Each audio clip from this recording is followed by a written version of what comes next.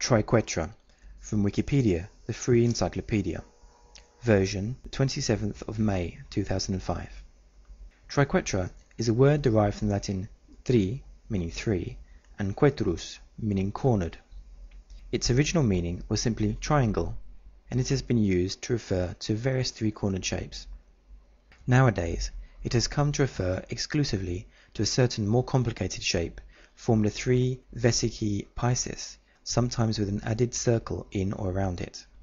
The triquetra has been found on 8th century runestones in northern Europe, and it also appears in early Scandinavian coins. It presumably had pagan religious meaning.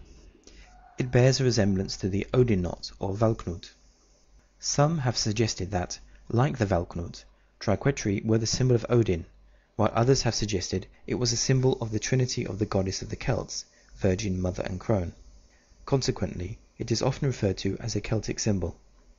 We do know that it was definitely later used by Christians as a symbol of their Trinity, Father, Son, and Holy Ghost.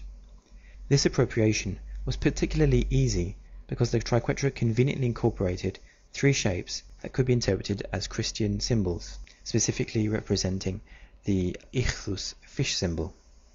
In modern times, this symbol has again been appropriated, this time by neo-pagans or Wiccans, who claim the original Celtic or Norse origins of the triquetra.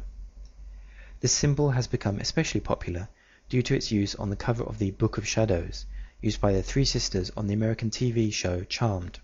English speakers often find the word triquetra difficult to pronounce, and so one very often hears it pronounced with the U and or the second R made silent. In other words, they pronounce triqueta or triqueta. This article is released under the GNU Free Documentation License. Please see en.wikipedia.org for further information.